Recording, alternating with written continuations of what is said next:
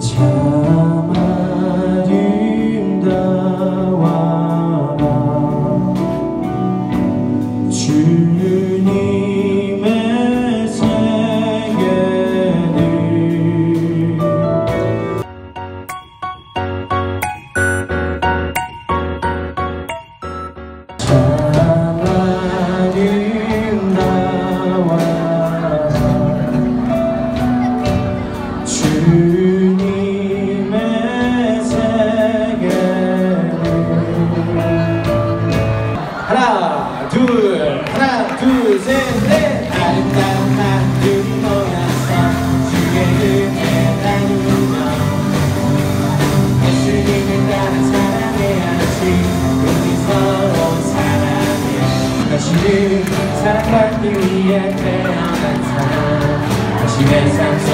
속에서 사랑받고 있지요. 당신은 사랑받기 위해 태어난 사람. 당신의 삶 속에서 사랑받고 왜 한번 살까요? 당신은? 감사해요. 깨닫지 못했었는데 내가 얼마나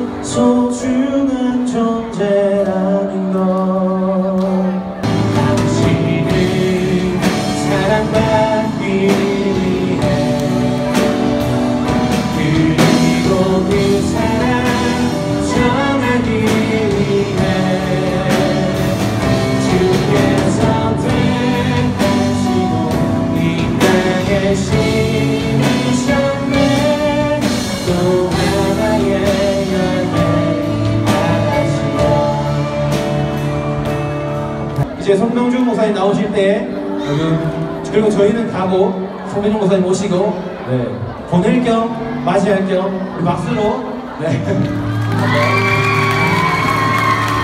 오늘은 어, 이야기 개항 채플 겸 어, 채플 후반부에 좀 여러분 좀 뼈를 때리는 소리를 좀 하겠습니다. 잘 들어주시면 좋겠습니다. 좀 심각한 얘기도 있어요. 어, 한번 같이 읽습니다. 시작. 여호와 만군의 하나님이여 주와 같이 능력 있는 이가 누구리이까 여호와여 주의 성실하심이 주를 불렀나이다. 아멘. 어, 여러분 라인 들어보셨어요? 여러분 아는 라인이 뭐였습니까? 예, 제일 유명한 게 그 네이버에서 만든 라인이 있죠. 우리나라는 별로 없는데 전 세계적으로 한 5억 명이 가입되어 있는 동남아 쪽하고 일본 쪽에는 굉장히 인기 있는 어, 어플입니다. 이것도 있고 또 이것도 있잖아요. 뭐 V 라인도 있고 D라인도 있고 내가 S라인은 참아 사진을 목사로서 검색하기 위해서 통과했습니다. 그 다음에 이것만 아니라 어, 사람에게 줄을 닫는 뭐 유라인, 그죠? 유리석과 친한 인맥의 사람들 또 여기와 비교되는 무슨 라인? 아, 다음 라인도 있고 뭐 그렇잖아요. 근데 오늘은 제가 좀 다른 라인 얘기할 겁니다. 아, 뭐죠? 포토존? 어, 오늘은 포토라인 얘기할 건데 원래 포토라인이라는 것은 어, 1993년도에 우리나라 어느 대기업 회장이 검찰에 출두하는데 수십 명 기자들이 촬영이 너무 뜨거워가지고 밀고 밀리다가 카메라맨이 카메라 들고 있는데 뒤에서 누가 이렇게 밀리는 바람에 카메라 전체로 넘어졌어요. 넘어지면서 출두하시는 대기업 회장님의 이마에 카메라가 그냥 본의 아니게 찍어버린 거예요. 그래서 여기가 한 3cm가 찢어져가지고 피를 흘리셔가지고 기자들 사이에서 이건 너무 심하다. 그래서 앞으로 우리가 스스로 좀 절제해서 룰을 만들어서 어 이렇게 포토 라인을 만들어 놓고 그 다음에 기자들 쓸 수 있는 라인을 만들어 놓고 이렇게 덤비지 말자. 서로 서로 좀 질서를 지키자. 그렇게 해서 만들어진 게 포토 라인입니다. 그러니까 이거는 법적인 구속력은 없어요. 이거 어긴다 해서 벌금 부는 건 아닌데 스스로 지키는 질서인 거죠. 어, 지금도 수많은 사람들이 어, 무슨 죄를 지었거나 지은 죄가 혐의가 있어서 출두할 때 유명한 사람이 갈 때는 기자들이 막 이렇게 기다리고 있습니다. 그리고 그 사람들이 가다가 포토론에 서서 잠시 인터뷰를 해요. 뭐 인정하십니까? 뭐 하십니까? 사실입니까? 라고 말할 때 그때 이제 어, 짧게 말하죠. 근데 어, 항상 이런 말 해요. 검찰 조사에 땡땡하게 임하겠습니다. 놀라운 게 이게 연예인이든 기업인이든 정치인이든 사업가도 관계없이 거의 Control C Control V예요. 똑같아요. 어떤 죄를 지었든 간에 거기서 가지고 진짜 영혼 없이 조사에 성실히 임하겠습니다 하고 들어가요. 그러면 성실히 임하겠으면 검사가 물어볼 때 예, 제가 죄를 지었습니다. 이렇게 말하면 좋은데 여기서는 성실히 임하겠다 말을 하고 들어가서는 아, 몰라요. 기억 안 납니다. 모릅니다. 제가 안 했습니다. 이렇게 말하는 게 많아요. 성실, 성실. 저는 이 말 들을 때마다 어떤 사람보다 더 깊은 어, 빡침이 있습니다. 왜냐하면 보세요.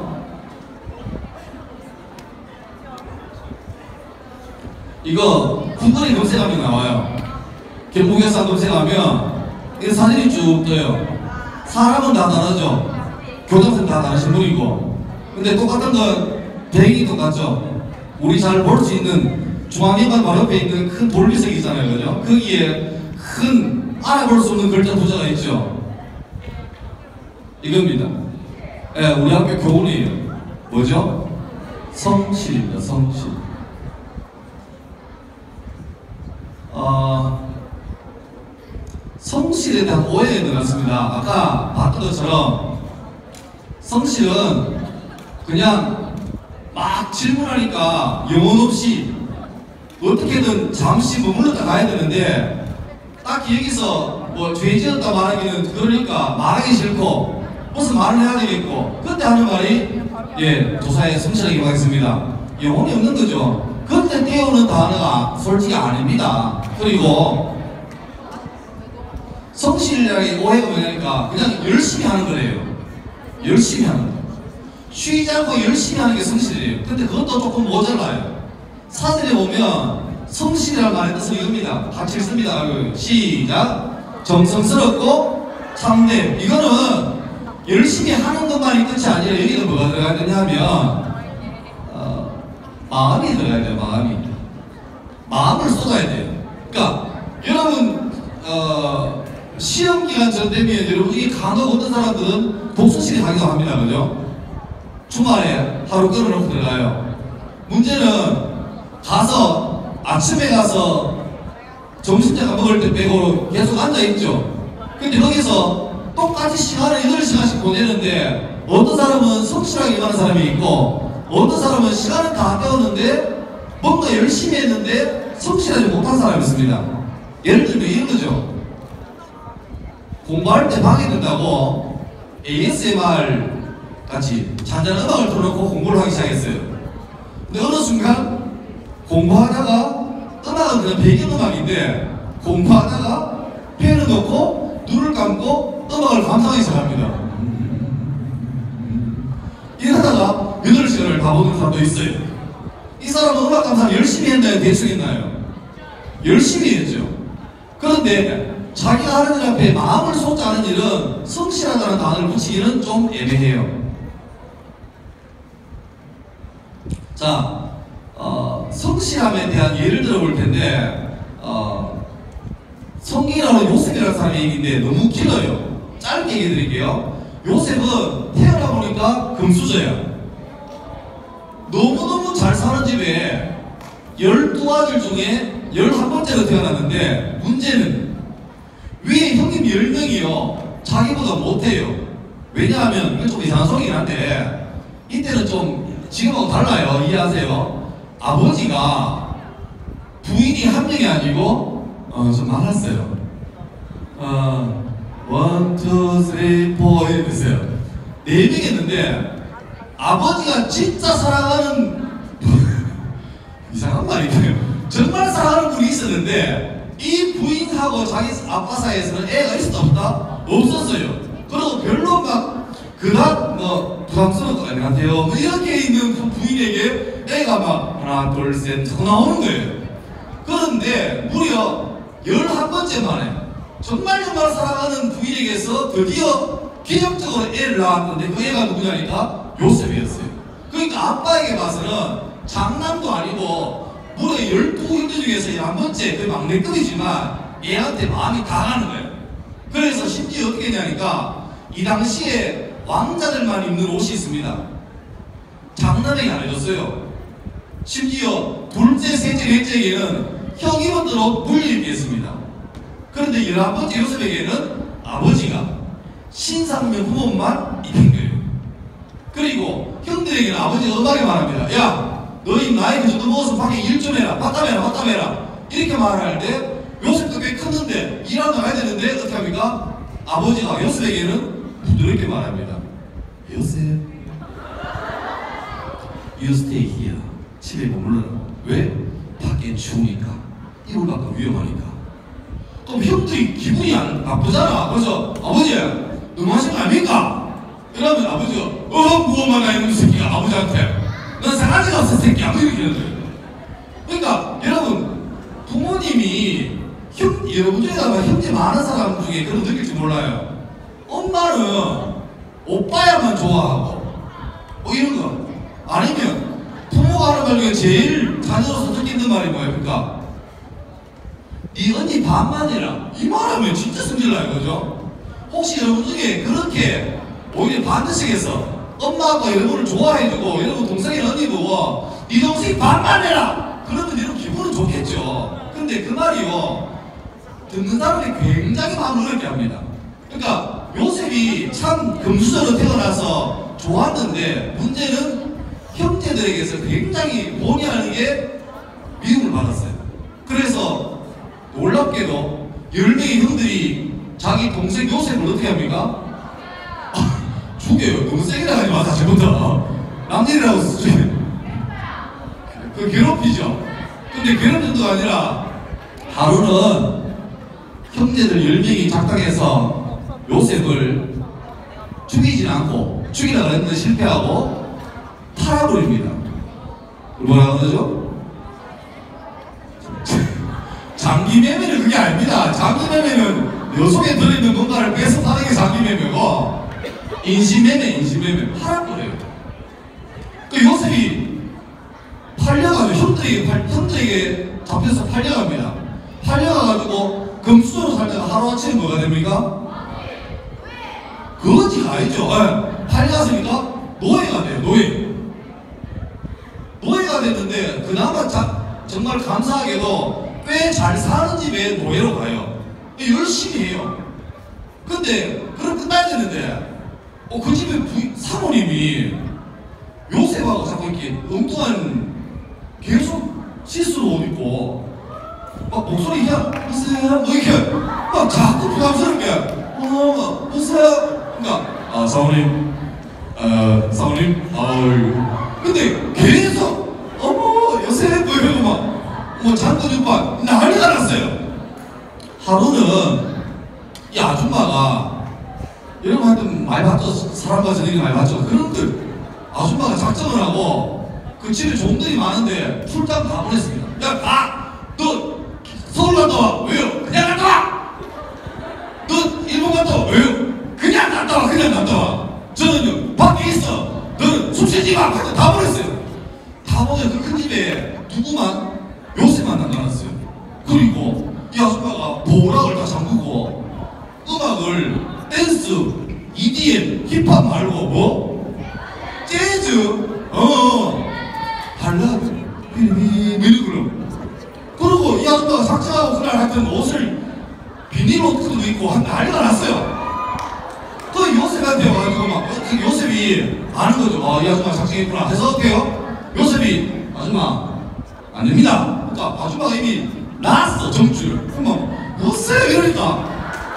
자, 보세요. 근데 요셉이 무릎 꿇고, 하나님 아버지, 이 아줌마가 지금 미쳐 들어가는데, 정신을 차리게 도와주세요. 이랬을까요? 아줌마가 막 옷을 잡고 놔두니까 요셉이 입고 있더니 겉옷을 잡으니까 놓으세요. 아, 아줌마가 놓으세요. 어, 놓을게. 이래 됩니까? 안 놓죠. 그러니까 놀래가지고 옷을 잡으니까 옷을 그냥 이렇게 아줌마 주고 도망가 버렸어요. 그러니까 아줌마는 그날 작정을 했는데 자기 손에 남겨진 건 요셉의 겉옷밖에 없어요. 뭐가 무너졌죠? 억장이 무너져. 자존심, 자존심. 그러니까 이 아줌마가 너무 분한 거야. 그래서 부들부들 떨면서 자기 신랑에게 전화해가지고 빨리 집에 오라고. 어, 왜 하니까 그냥 집에 오라고. 가보니까 아직 뭘 쥐고 있다? 아주 옷을 쥐고 있어요. 떨면서 신랑이 말합니다. 네가 시장 가가지고 사왔던 저 노예놈, 저, 저놈 삐 저게 어? 나한테 달라들어가지고 내가 막 꽝지로 해서 겨우 살았다. 이 옷이 증거다. 덮어 씌운 거죠. 왜? 자기는 주인이고 요셉은 뭐니까? 노예니까. 요셉은 진짜 억장이 무너지는 거예요. 그럼 어떻게 해요? 그 당시에 노예는 인권이 없습니다. 그냥 말할 수 있는 동물이었어요. 그러니까 그 주인, 부인의 말만 듣고 요셉은 감옥에 가십니다. 누명 쓰고. 근데 거기서 요셉이 또 우리 교훈처럼 성실히 살아요. 성실히 살아요. 나중에 얘기는 뭐 생략하고요. 제가 성경 두개 보여줄게요. 이거 보세요. 하나는 그 주인이 여호와께서 그와 함께 하심을 보며 또 여호와께서 그의 범사에 형통하게 하심을 보았더라. 뒤는 마찬가지예요. 형통이란 말은 지금 우리식은 그거예요. 성공, 잘 되는 거예요. 그런데 위에 저 말씀은요. 형들에게 인신매매를 당한 겁니다. 밑에 똑같은 말씀은요. 아까 말했지만 누명 쓰고 감옥에 간 이유입니다. 이상하지 않아요? 요셉은요. 억울하게 누명 덮어쓰고 감옥에 갔고 형들이 자기를 팔아가지고 금수저 집에 도련님에서 갑자기 하루아침에 노예가 됐는데 하나님이 그에, 그에게 잘 되게 했대. 왜? 요셉이 그때 살았던 삶의 태도가 뭡니까? 성실이었어, 성실. 예수님이 12명의 제자를 부르는데 이거 제가 쓴 글입니다. 12제자 중에서 한 사람도 낮잠 늘어지게 자는 중 예수님께서 야 너네 제자 할래? 어 진짜요? 이러고 묻습니다. 어부였던 사람들은 밤새 고기를 잡다가 밤새 밤을 꼴딱 새고 새벽에 지쳐 가지고 정신이 막 왔다 갔다 하는 그 순간에 예수님께서 오셔가지고 야 너 날 따라올래? 이렇게 부르십니다. 어떤 사람은 공무원으로서 자기 앞에 최선을 다하고 있는데 일하는데 오셔가지고 예수님께서 너 내 따라올래? 부릅니다. 또 한 사람은 열심히 기도하는 것을 주님께서 예수님께서 보시고 너네 따라올래? 다시 말하면 열두 제자는 전부 다 자기 일 앞에 성실하게 일할 때 예수님께서 제자로 부르신 거예요. 어느 한 사람도 여유있게 낮잠 자고 졸다가 뒷담하다가 부름받은 사람은 아무도 없습니다. 이거 지금도 마찬가지예요. 지금도 마찬가지예요. 이제 내가 좀 중요한 얘기할 겁니다.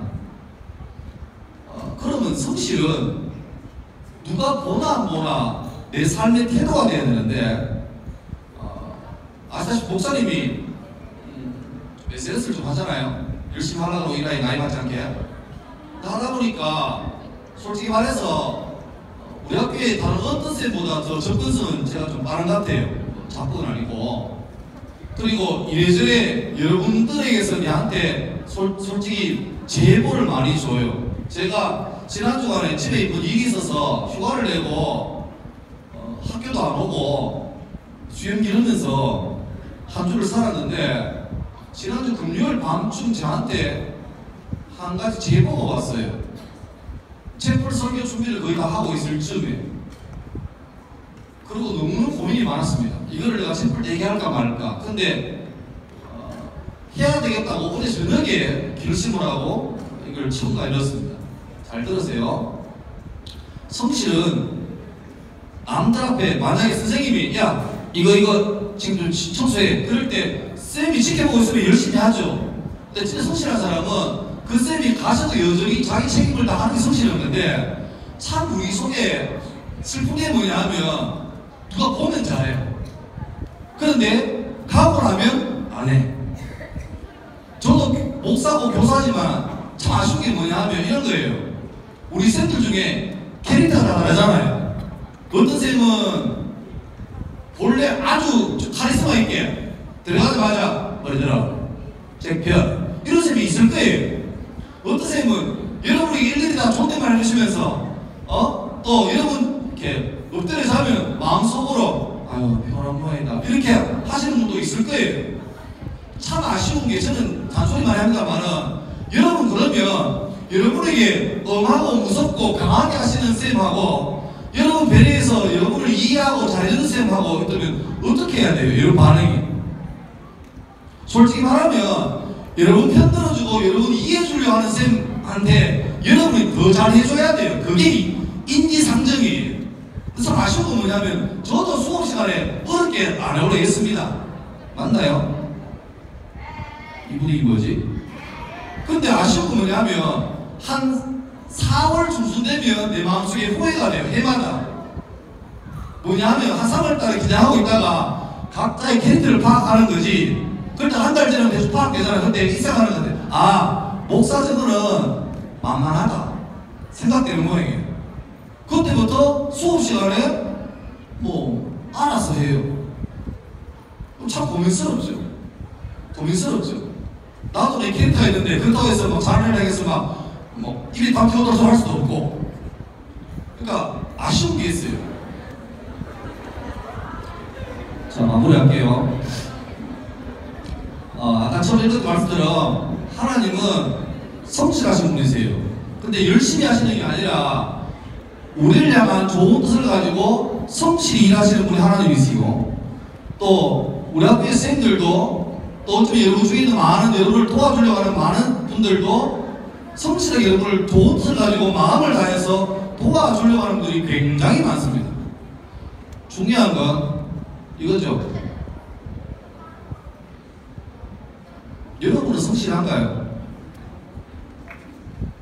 장마에 태풍 링링에 집중호우가 뭐 한 시간당 100mm의 비가 와도 그릇을 뒤집어 놓으면요 그릇 속에는 물이 안 들어갑니다 온 사람이 하나님이 목사인 제가 교사들이 선배들이 여러분을 도와주고 이 어려운 경제 상황 중에서 어떻게 여러분 가운데 좋은 일을 이뤄주려고 애를 쓰고 도와주려고 하는데 온 학교가 성실함을 가지고 여러분에게 어떻게든 바르게 가라고 바르는 사람들하고 애를 쓰는데 문제는 내 마음속에 됐습니다. 알아서 하세요. 이렇게 해버리면 수가 없어요. 우리 학교 와가지고 자기 열몇 개를 따고 내신을 3% 인구 유지하고 보다 더 중요한 건 내 삶에 대한 성실한 태도. 음, 아까 우리 차장님도 하는 조사 말했지만 여러분을 위해서 애써주는 사람이 굉장히 많아요. 그러면 인간적으로라도 아 나는 이 시간을 그냥 헛되게 보내기 참 안타깝다는 마음을 가지고 살고 있습니다. 특별히 고3들에게 부탁합니다. 저도 고3에 지금 한, 교, 한 반에 수업 들어가는 중인데 1학년하고 3학년 아예 분위기가 다르더만요. 오늘 내가 내 삶에 성실하지 못해버리면 여러분 1년 성실하지 못한 것 때문에 3학년이 열매를 맛보잖아요. 성실의 실은 열매입니다. 열매. 그런데 문제는 고3인 지금 내가 성실하지 못하면 이걸로 끝나는 게 아니라 이것 때문에 내년 그 다음에 열매가 또 없을 거예요. 성실함으로 여러분 삶에 흘러가는 맥을 끊으시기 바랍니다. 중학교 때 삶이 엉망이었으면 지금은 성실하게 살면 그 흐름이 끊어져요. 끊어져요. 고등학교 때 대충 살아가지고 실패했다. 그러면 2학년 때라도 끊어야 돼. 끊으면 지금 뿌리면 열매를 맺어요. 그런데 과거의 씨를 못 뿌려서 열매가 없어. 흉년이면 흉년이야.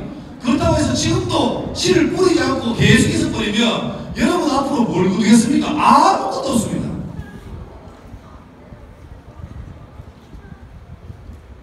우리 학교 교훈이 성실인 것은 삶의 가장 중요한 태도가 성실이에요. 하나님이 성실하신 분이고 저는 여러분들이 무엇보다 성실하면 좋겠습니다. 그 성실함은 그냥 부지런히 하는 게 아니라 마음을 다해야 하는 거예요. 이걸 다 열심히 하면 다른 다른 사람이 피해를 안 보겠는가를 고민하면서 애를 쓰는 거예요. 우리 학교가 졸업할 때 다른 건 몰라도 아 삶을 좀 진지하게 살아야 되겠다.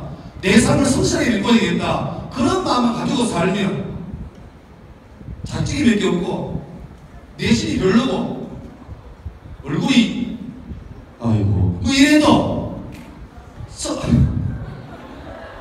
아니야 성실함만 가지고 있으면 삶의 열매를 맺습니다. 아무쪼록 여러분 내가 좀 세게 말해서 죄송한데 더 이상 가면 안 돼요. 끊고 다시 가야 돼요. 여러분 삶을 성실하게 돌이켜야 돼요. 2교시부터 정신을 차리고 오는 잠을 물리셔야 돼요. 맞아들이면 잠은 옵니다. 그대로 삶의 평면도 올 그런데 끊어버리고 의지를 가지고 살려면 지금 힘들어도 뿌리면 언젠가 웃으며 결실날이 올 겁니다. 예, 잘 마치겠습니다.